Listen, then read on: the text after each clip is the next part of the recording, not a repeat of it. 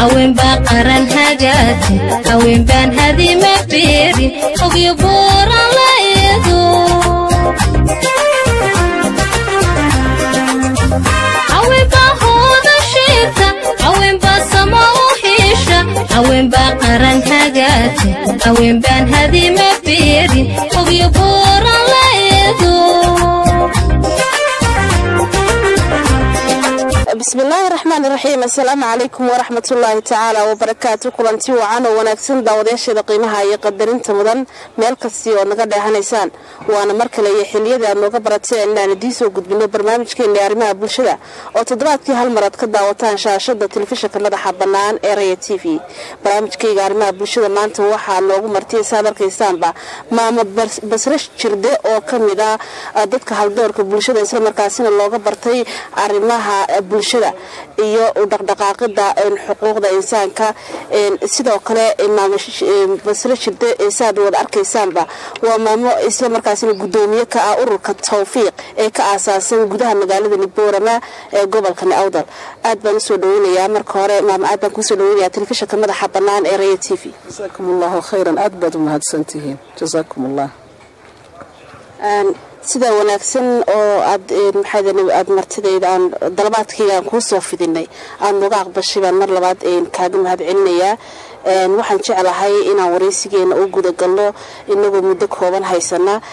Mar kale ku soo dhowow bismi illaahi raxmaan iraxiim alxamdu lilaahi rabbi alcaalamiin wasalaatu wasalaamu calaa ashrafi almursaliin sayidina muxamed sala allahu calayhi wasalam mahad ilaahay baa la tu hor iyo tu dambaba mahadda labaadna waxaan u celinayaa dhammaanba siday u dhan yihiin howlwadayaasha mataqaanaa saxaafadda ee ka howlgala magaalada boorama oo dhammaantoodba annaga nagula shaqeeya si samafala. Gaar ahaana maanta waxaan idin mahad celinaynaa idinka oo ah raaya t v. Waxaan idin leenahay jasaakum allahu khayran. Aad iyo aad baad u mahadsantihiin. Sidaa samafalkeed idinkuna nagula shaqaynaysaan. Hagaag maama waxaa lagaaga bartay dhinacyada arrimaha bulshada isla markaasina waxaa tahay gudoomiyaha ururka tawfiiq oo in badan arrimaha bulshada ka shaqeeya oo si wanaagsan uga shaqeeya. Goormaad bilowday adiga ahaan inaad xagga arrimaha bulshada iyo howlahaasi bismillaahi raxmaan iraxiim waxa weeyaan hooyo wax wax ilaahay jirkaaga ku abuura ayaa iska jirta. Runtii anu samafalka waxaan odhan karaano aad u yar baan bilaabay. Laakiin dee marka boorama laga hadlo. Waxaan idiin imid bay ahayd labadii kun iyo sideedii isla markaaba runtii dad magaalada joogay oo ii yimiday darteed isla wakhtigaaba waan bilownay bay ahayd laakiin wakhtigan annagu soo shaac baxnay ase nacam ururka tawfiiq oo kale waxay ahayd labadii kun iyo sagaalkii.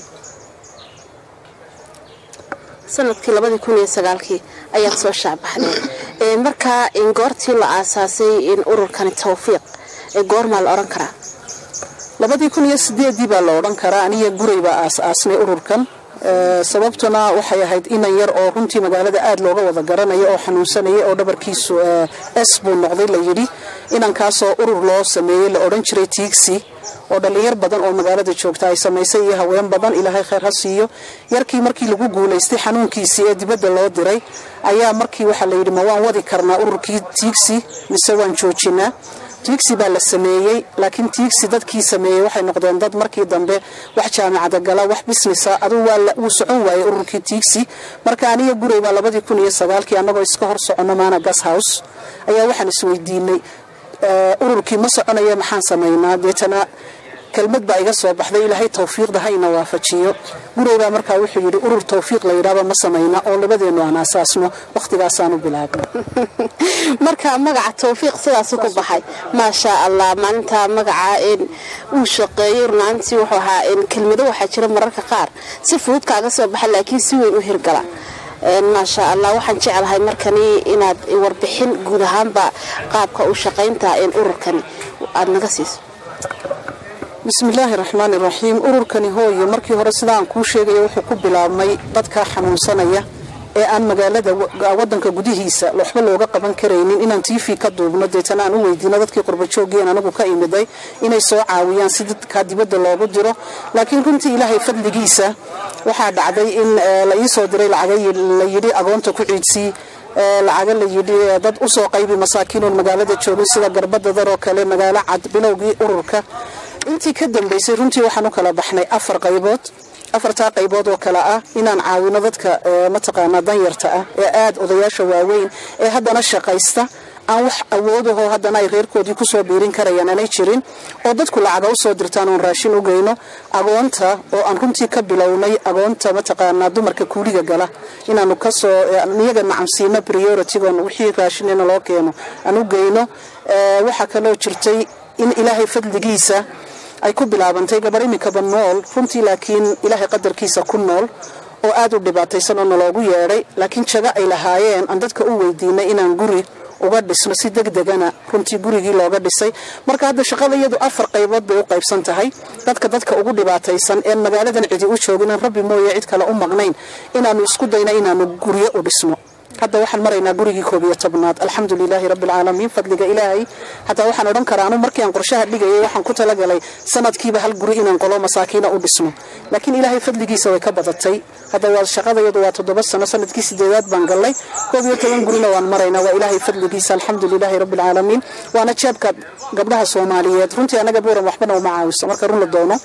Barnaamij soo duubno buurama weli wax caawinaada kamaanaa reebin ilaa marka laga reebo dhowr gruub oo iyagu gaara oo waxooda ilaahay dartii gaar ula baxay.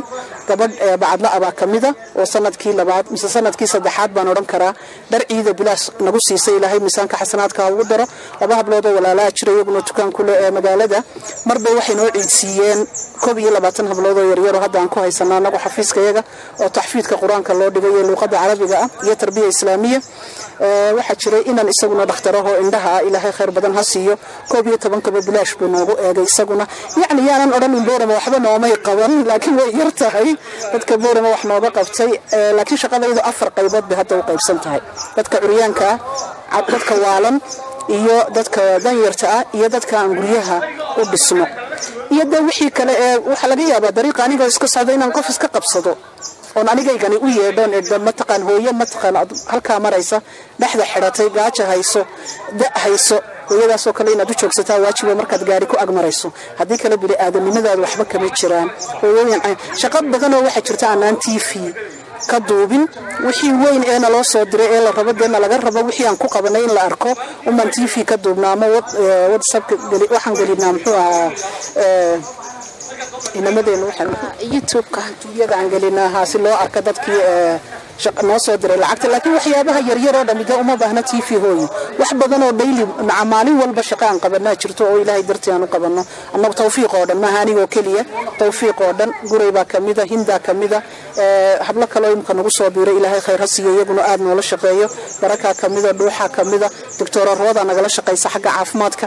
Maasha alla waa la badan yahay hooye alxamdulilah marka shaqada iyadu afartaa nooc bay u kala baxdaa waa runoo marka dadku ay sadaqad la baxayaan waase waa sadaqad moogtahay waxaa lala baxayaay waxaa lagu yiri inta badan inkasta oo de inagu fulinteedii aad leedihiin dad maxaydn markaa danaynayo oo qurbaha jooga inay dadku walaabahooga maxaydn waxay ku caawiyaan ayaa lacagtani soo diray.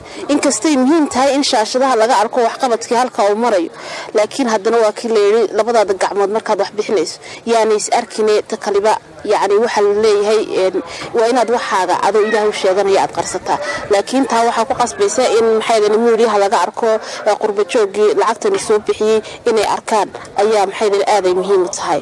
Runaantii ujeedooyinka ugu waaweyn ee aad ka lahaydeen in maxaydn ururkan la aasaaso danyarta magaalada buurama iyo dadka maxaydn aadka u dhibaataysana guud ahaanba gobolkan awdal sida degmooyinka qaar aad ku soo xustay maxaydn maal oran karaa inay dadka in baahiyahoogiyo batay in wax laga qabto ayaa ururkan ujeedada loo aasaasay ahayd. Bismillaahi raxmaani raxiim kolley qofka biniaadankaa hooyo adduunkan intaan joogno nabigu calayhi salaatu wasalaam inkastoona sheekhad ahayn laakiin dee sidaan culimada ka maqalay waxaa layidhi kun naafican qof kasta oo inaga inaga mid ah meeshuu doonaba ha joogo islaama haddii uu waajibka isaga saaran is yidhaahda qabo awood intii uu u leeyahay ilaahay abuuray anigu waxaan qabaa baahi lama arkeen matalan dadka maalqabeenkaoo kale hadday sakada sidii xaqa ahayd u bixinayaan inta loo dhiibaa hadday sidii xaqa ahayd u gaarsiinayaan inta masaakiinta ah anigu fikradayda waxaan qabaa wax baahiya ama wax bilaa oo wadankan jooga lama arkeen ama waddamada muslimka oo dhanba. Laakiin dee ninkii shaydaan baa shaqaysanaya ummadda bakhaylnimadiibaa aada ugu badan ilaa man raxima rabbi in yaroo ilaahay u naxariistay oo garanaysa dee waxaan loo dhiibay inuu rabbi u dhiibay mooyaane. Laakiin ujeeddada annagu aan leenahay iyo waxaan hiigsanayno haddaan ku darsado runtii aniga basro jirda waxaan odhan lahaa intaan noolahay ilaahay waxaan ka baryayaa kolley inaan wax badan ka bedelo bulshadan. Haddii ilaahay yidha aniga iyo gruubka ila shaqaynayaaba la inaanu keligay waxama qaban karo. Gruub aada u firfircoon ilaahay dartii ku shaqeeya ayaa ila shaqeeya. Marka waxaan leeyahay ilaahay waxaan ka baryaynaa kolley wax la taaban kara inaan ilaahay una waafajiyay intaan noolnahay biidni illaahi raxmaan basra jirdahaan maxay dani waxyaabaha ugu muhiimsanay aanbaad oran lahayd. Wallaahi waxaasa haddii awoodeyda tahay ugu weynoon maxaydan u qaban lahaa bulshada magaalada buurama amba gobolkani awdal maxay ahaan lahayd wax kaa weydiin? Bismillaah aniga tayda hadday tahay hooyo. Booramo qof baahan laguma arkeen hadday awoodayda tahay. Kow waxyaabaha imikadan liiska noogu jira haddaan tawfiiq nahay odayaasha waaweyn ee kaariyoolayaasha wada. Ee ama raashinka dadka u qaada ama dhuxusha u qaada wixii dhallinyara xoog bay leeyihiin mustaqbalkuna uu ka horreeya laakiin oday weyn toban ciyaal ay sugayaan kaariyoona ku shaqaynaya laga yaabo maantao dhan inuu shaqeeyo inaanu laba doolar soo helin. Runtii aniga awoodayda hadday tahay dhulkaanu ka nimidnay waxaa jirta wax la yidhahdo sandika sandika waxay ka dhigan tahay inaad urur samayso ururkaasoo xuquuqda bini'aadankan u dagaalama. Oo haddii dowlad wax looga qaadayo haddii hay'ado wax looga qaadayo haddii shicib wax looga qaadayaba. Macnaha walfeerka la sheegay qorbaha markaanu tagnay ummadda la siinaya dee gaalkaynu u tagnay in maaha. Rabbi baa kuu garaacay iyo xeer iyagu ay dhigteen xeer iyagu ay dhigteen. Waxaa jira qorbaha nin isagu doono mooyaane nin dee qorbaha ma jiro. Nin bilaa gurigiina ma jiro. Marka aniga hadday tayda tahay oon awood u leeyahay runtii cid walba waxaan odhan lahaa guri ha la siiyo. Cid walbana ha la siiyo bishii waxay ku noolaato. Xataa hadduu shaqaysanayo kuma filla. Qorba kale iminka markaad shaqaysanayso waxbay ku kabaan dadka adigoo adigu mishaaro soo qaadanayo shaqo tegayo afar saacadood matalan soo shaqaystay maalintii haddana oo labaatan saacadood wiigii shaqaynaya dee ku kabayaan. Oo baahidaada tii tacliimeed tii caafimaad iyo tii nololeedba waa la daboolayaa. Marka waxa weeye anigu meeshii xoolana kalama iman digriina kalama iman oo dhaktar ma ihi laakiin haddana khibrad baan kala imiday. Marka hadday awoodayda tahay ama khayraadka dhulkan ku jira lagu heshiinayo oo lala soo baxayo anigu waxyaabo badan baan ka bedeli lahaa dhulka runtii wallaahi arrin wanaagsan baad ka dhawaajisay ah maxaydanay odayada waaweyn amba maxaydanay aabayaasha waaweyn ee markaa itaalkoogu gabay. Wax ka dambeeya oo dee aanay jirin markaa ay ciyaalkaasi iyo reerkaasi ay ku marsuufaan ayna jirin. Dalkeenna san ogyahay la tareed ma jiro oo iminka dowladaha kale caalamka iyo dowladaha kale soomaalida meelaha qaar waxaa laga helaa in la tareed qofku markuu weynaado hadeeta howlgabeen noqdo inuu qaato. Markaa ka tawfiiq ahaan maxaydanay waxaa jirta mararka qaar baahiyo baahiyaanad wax ka qabanaysaan baahiyaha kale waaweyn baa jira. Oo baahi waxaa jirta saddex qoys haddii maanta aad hawla aad ka soo bandhigtaan oo doontaan inaad wax u qabataan. Laakiin itaalkii karaankii uu gaadhina qoys ka mid ah maxay danayd la hagaajiyo oo dee arintaasi loo qabto? Qoyska wuxuu noqonayaa inta badan ugu daciifsan ee la oran karo kaasa xoog dhulka u yaalla marka waxyaabaad ku kala xulataan so waxyaabahaas kale ma noqon karaan. Nacam nacam. Baahidu horta hooya dadka aad bay ugu badan tahay. Hooyooyinka kuuliga oo kale aad bay u dhibaataysan yihiin. Inkastoo runtii malaha magaalada boorama uun laga galo sidaan maqlay ee kuuliga oy dumarku kuuliga boorama uun ka galaan. Oon magaalada magaalo kaloo laga galo soomaaliyeed ama somalilandaba aan la ii sheegin dhibaatada u weyne hooyooyinka kuuliga haysataa waxa weya maalintay hesho anigu runtii waan u damqadaa markay kuuli tahay laakiin iyadu aad bay ugu faraxsan tahay. Maalintay hesho laakiin maalintay weydo. Waxa weeyaan ubadkii waxay kula soo noqotaa ma jiro. Marka waxyaabaha anaga liiska noogu jira haddii ilaahay awoodayada wax soo geliyo dumarkaa kuuliga kamida aabayaashaasaa kamida dadka waxa kamida dhimirka waxaad arkaysaa reer dhan oo afar qof ka waalan yihiin oo hal hooyo dibadda ugu baxda iyada laftarkeedaa waalan kolkaa waayo markay baahi iyo afar qof oo waalan oonay qofnaba dawo u haynin meel ay gelisana aanay u haynin subxaana allah waa waxyaabaha aada ilaahay looga hoos galo. Marka runtii annagu markay dhibaatooyinka badanee sidaasi noo yimaadaan haddana waan sii kala eegnaa mise caruuraa meesha joogta. Mar walbana dee waxaa la siiyaa hooyo maxaa la yidhaahdaa prioritiga ciyaalka. Waayo ciyaalkii ma garanayaan hooyo ma hayso. Marka waxaanu ku kala dooranaa hadday carruur badani jirto inaan iyaga hormarino oo hadday laba qof oo waaweyni jiraan dee labada qof ee waaweyn haddaad rufac rufac waxaana tiraadiin oo raashino loo geeyo waxaan u mudday haynaysaa laina cuntadoodii baaba yaraatay iyaga. Laakiin ilmaha imikadan haddii haafhaaf loo geeyo waa caruura way iska cuntaynayaan marka had iyo jeer waxaan siinaa prioritiga wixii carruur leh ee hooye ah ee weliba agoona weliba agoona. Waayo aabbuhu dee waa tan soomaalidu halkii walfeerkii dhulkii laga shaqaynayay halkan qabiilkaa walfeera yacni qofku tolkiisii buu tegaya maanta carruurtii wax maahay kii aabbalihii dee waxaa laga yaabaa haddaanu jaad iyo sigaar cunin. Ilaahay ka hadeeya ummadda jaadka iyo sigaarka. Haddaanu odaygaasi jaad iyo sigaar cunin waxaa laga yaabaa wixii loo dhiibay dee inuu badkiisuunu geeyo laakiin haddii meesha jaad iyo sigaar jooga waxaa laga yaabaa inuu isagiiba kow iska dhigo. Marka dhibaatadu aad bay u badan tahay laakiin sidaad ka dhawaajisay waxaanu u eegnaa un siday u sii kala dhib badan yihiin. Waa hagaag. Xagga hadday noqoto qoysaska maadaama ood u kuurgasheen ood gacanta ku haysiin dadka danyarta ah. Waxaa jirta waxyaabo badan inaad la kulantaan. Mashaakil badan inaad la kulantaan baahiyo badan inaad la kulantaan. Waxyaabaha ugu badan ee yacni u baahday maxaydani caawin badan waxyaabo aad maxaydani la tacaasheen oo dhib weyn aad kala kulanteen xagga qoysaskaas baahida maxaa ka mid ah horta anigaan maqnaa hooye runtii markii wax waloo horta dhibaato kaa hor yimaadaba inaad meel ku qortaa waajiba. Si ay daato kuugu noqoto. Marka maran maqnaaba waxaa la iisoo sheegay ururku iisoo sheegeen inay reer loogu yeedhay danyara deetana ay inankoodii curdeed oo jidhkiisa cunaya u tegeen. Baahi darteed. Subxaan allah yacni markii waxay ila noqotay dee inay iska hadlayaan uun laakiin markaan imidayan meeshii tegay ficlan markuu gaajoodo ilmahaa yari wuu korayaa laakiin caqli male baa la yidhi. Siday dhakhtaradu sheegeen doctor jibriiloo nala shaqayn jiray. Ilaahay khayr ha meeshuu joogana allaha ku nabadgeliyo. Oo mar walbana raaci jiray. Oo mar walba meeshaanu uga baahano dadka dhimirkaa nala soo eegi jiray. Ayaanu u geynay. Markaan anigu imiday. Markaa wuxuu yidhi caqli baan jirin. Ilmahan wuu dhashay. Jirhkiisaa koraya laakiin caqli ma jiro. Marka ilmahaasi mar alle markuu gaajoodo ficlan jirhkiisuu goosanayaa mucjisadii iigu weynayd bay ahayd. Marka waan dib baan uga duubay t v. Waxaan bandhigay in ilmahan anaa horta maqan baan london dadkii joogay baan shiriyey waxaan ku yidhi dad caynkaasaa la sheegayaa marka waxaan doonayaa in guri loo dhiso. Jagay lahaayeen hayayaabay degan yihiin. Meesha xagga asbuurta anoo maqan baa loo bilaabay. Alxamdulilah laba maqsin baa hadda loo dhisay. Leanna wuxuu ku xidhnaa meel yar oo jiingada oo wada daxala deetana ninkani caqli male markastuu cadhoodo jiingaduu isku tuurayay. Dhulkanaa wada dildilaacay oo jiingadii ka dilaacaysa maadaama aanu caqli lahayn. Markaan imidayaan nidhi hooyaduu reerka kale faamigu buul bay ku jireen. Dumay weliba oo dhinac ka dumay.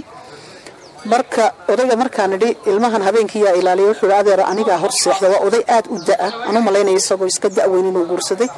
Ilaahay ha ku gargaaray inta kale marka mucjisadii iigu weynayd yarkaa yar bay ahayd alxamdulilah hadda laba qol baan u dhisnay. Waxaa noo dhiman keliya iyo musqul barandihii baa noo dhiman. Ilaahayna waxaan ka weydiisanaynaa qolkuu ku dhex xidhan yahay. Waxaa la sheegayaa hadda marmarka lagu kaco oo maalin dhawada raashin u geynay. Gabadh baa horta ilaahay khayr ha siiyo. Gabadha aad iyo aad iyo aad baan ugu mahadnaqaya. Waxaan leeyahay ilaahay dartii baad ugu soo dirtay. Sida halka aad ka soo bixinaysa ilaahay miisaanka xasanaadka adigana ha kuugu daro annagu waan bandhignay oo waxaan nidhi markii guriga loo dhameeyey labada qol wiilkaa yar wuu iscunayaa jirhkiisa markuu gaajoodo hooyadiina. Wax ma haysa aabihiina waa nin weyn marka waxaan rabnaa cid naga kafaalo qaada gabadh baa naga kafaalo qaada ilaahay miisaanka xasanaadka ha ugu daro. Londontay joogta ilaahay ha ku ilaaliya iyadoo ubadkeedaba konton dollar bay bil walba u soo dirtaa. Annaguna raashinka ma awoodaan inay qaataan. Waan geynaa bisha kowdeeda ilaa shanteeda inta u dhaxaysa. Siday lacagtu noogu timaado mucjisadii iigu weynay taasay ahayd laakiin haddadanba mucjisooyin ka badan laakiin aanan rabin in t v laga sheego waayo qofka biniaadanka ra'yigiisa waa ixtiraamto. Hadda hadda aynu taagannahay mucjiso ka weyn baan arkay laakiin reerkaasi ma rabaan ama addoonkaa dhibaatadu haysataa ma rabo in t v laga sheego. Marka ana xaqu ma lihi inaan wixiisa bandhigo. Hawl badan baad haysaan saad ka dhawaajisay waa la dareemi karaa. Bulshada magaalada buurna way aragtaa hawshaad haysaan. Marka hawshaasi marka laga yimaado qurba joogtaasi aad carab ku dhufatay inay inta badan dhaqaalaha ay bixiyaan aada howlaha ka qabanaysaan. Xagga dalka weli ma jirtaa cid gacan inaga geysatay oo la oran karo xagga ganacsatada iyo dadka hayntooda ay xoogaa ay ladan tahay oo yacni garab inagu siiyo howlahaasi ma jira. Bismillaahi raxmaan iraxiim saddexdii qofkan ka soo dhawaajiyey hore hooyo waxaa jirtay rag kaloo iyaguna mar hore mar hore dakaatiro ah. Diiday magacooda in la sheego lacag dollaroo sakadoodiia na soo gaarsiiyey ilaahay ka jisaa siiyo. Laakiin runtii magaalada sidaan uga howlgaliyo siday nacam anay noola soconin aad bay u kala fogtahay hooyo. Magaalada bowrama dhowrkaa qofkan ka dhawaajiyey hablaha walaalaha ah. Wuu jiraa dee qof qof sakada laba boqoloo dollar noo soo dira laakiin haddana runtii waxa weyan magaalada markaad iyada ka shaqaynayso waxa u weynee ku gelaya haba kaa doono amba wixii ay kuu dhiibeen wixii aad ku qabatay inaad tusto laakiin waxaa waajib ahayd inay magaaladu kula shaqayso.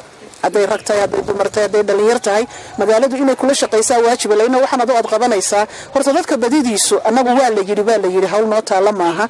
Laakiin dadka badidiisu waxay u haystaan inaan hay'ada la shaqayno inaan xoolo meeshan ku qaadano. Laakiin annaga beri horaan waxaan ku yidhi dadkii sidaa lahaa allahu baynana allahu baynana ilaahay baa inoo dhexeeya annagu waxaan qabanayna rabbi baa og. Sidaan waxu qabanaynana rabbi baa og. Waxa iyagu leeyihiinna rabbi baa og. Markaa taasi tu hawl noo taallo oo na habsaaminaysa maaha laakiin runtii magaalada boorama aad bay u gaabinaysaa hooyo marka la eego xagga waxtarka. Waayo waxaan qabaa magaalooyin waxaa jira hablo badan baa jira oon ku xidhanaho dibada somalilan laftarkeeda hargeysa oo kale meelo kale. Dad badan baa xafiisyadooda ugu yimaada. Laakiin anu waxaan qabaa xafiiskayga cid soo aragtay way yartahay lix sanana xafiiskayga furan yahay. Cid soo aragtay ee noo timidayna way yartay qofka noo yimaadana waa qofda nagale oo nala nacam dee waxaasaan sidaa qofkaasaa baahan qofkaasaa. Laakiin qof intuu noo yimiday yidhi maanta waxanaan idiin sidaa maanaan arag. Markaa dadka gobolka waaran waan dareemi karnaa.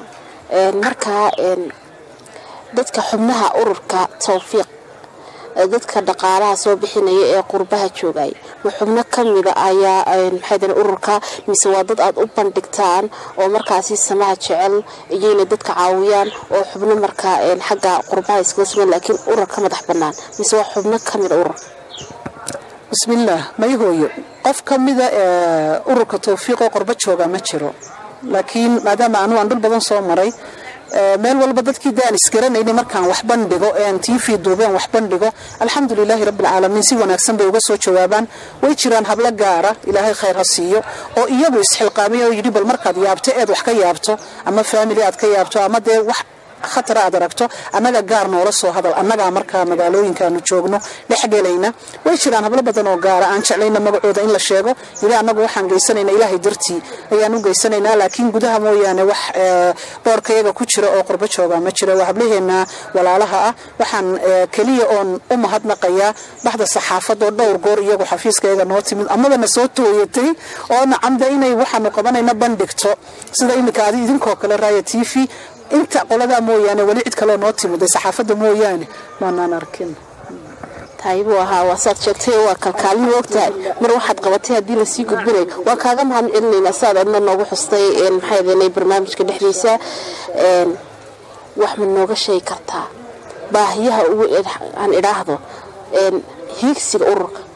Waayo wax walba waxbuu hiigsanayaa qorshuu leeyahay maxaadanay sideed u aragtaa qorshaha adigoo labadan isku daraya su'aalood qorshaha sida aasaaskii ururka qorshihiina iyo halkay howluhu socdaan. Iyo welibana waxa uu hiigsanayo ururkani tawfiiq ujeedada ugu weyn iyo hadafka ugu weyn han idhaahda uu hiigsanayo. Bismillaah hadafku hooya wuu wen yahay. Runtii aad buu ballaadhan yahay waxaan hiigsanaynaa. Awalan horta mar walba waan sheegaa waxaan idhaahdaa ilaahay waxaan ka rajaynayaa maalin maalmaha kamida haddaan anigu dhintiya haddaan noolahayba ururka tawfiiq inuu noqdo camuud foundation oo kale. Waayo camuud foundation dee waa la soo bilaabay uno bilow yar baa laga soo bilaabay. Maantana waa caalami. Waa urur. Wadanka america markay wax ka dhacaan dowladda uga horreeya inay dadka ay dhibaatadu ku dhacday wax taraan marka horta hamada aniga igu jirta ka basra ahaan hooye ahaan ee aad bay u weyn tahay. Waan jecelay somalilan oo dhan inaan gaadho soomaali weyn inaan gaadho africa inaan u sii gudbo waxaan u malaynayaa waa inta inagu filan. Inaynu africa oo dhan gaadhno. Horta hiigsiga iyagu waa taa dee markaad meeshaad joogto laakiin dhibaatada kala dagaalanto ayaad sii gudbi kartaa hooye laakiin meeshaad joogtayba hadday dhibaatadii anaad rubuc weli wax ka qaban. Waxaan u malaynayaa saad u tallowdaa way adag tahay. Marka hiigsiga iyagu wuu dheeryahay hooyo. Haddaan anu dhintiya haddaan noolahayba kolley dad baa ila shaqeeya. Dadkaasaan kaga tegi doonaa biidni raxmaan. Hadafkaan u aas aasnayna kolley waa waxay ahayd in wax fadli ilaahay ku yimiday wax fadli ilaahay ku yimiday.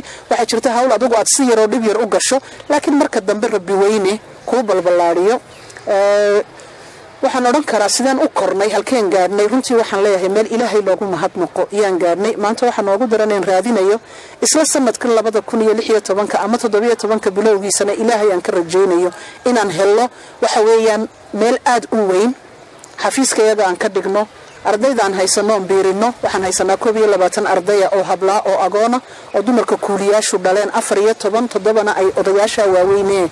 Kaariyoonaha riixee danyarta aan ka soo qaadnay.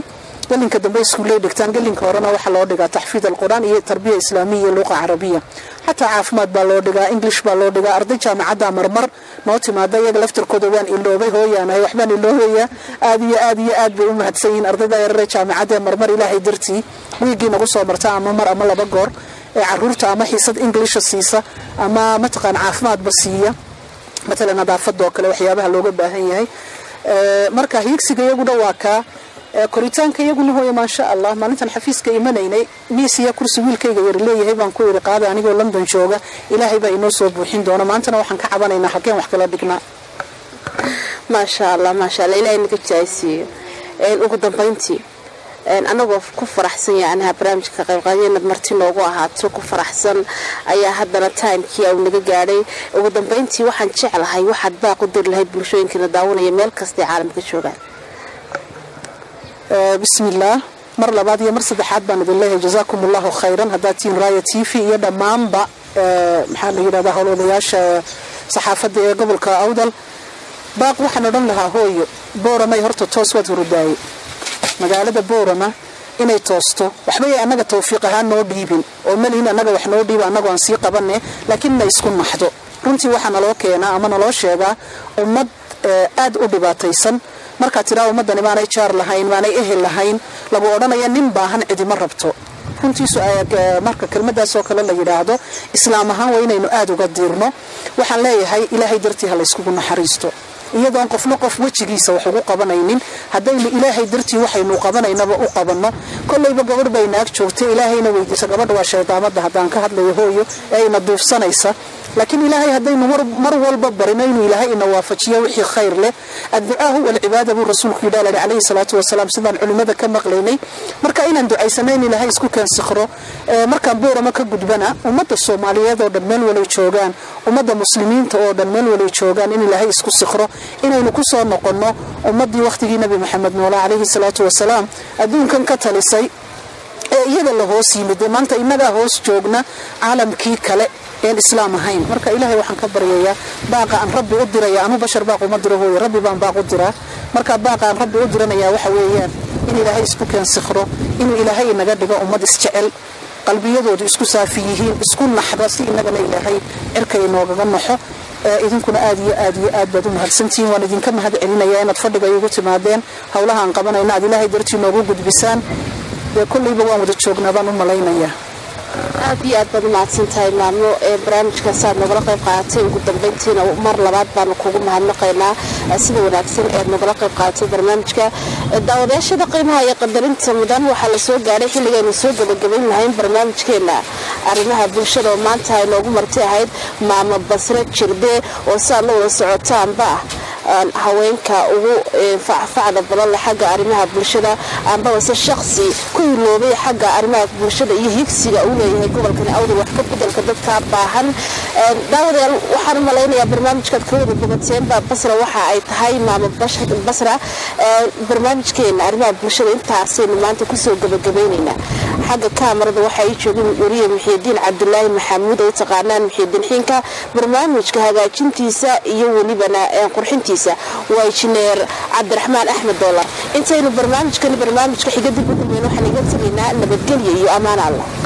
أوين بحوض الشيطة أوين بصمو حيشة أوين بقرن حاجاتي أوين بان هذه مبيري فوق يبور الله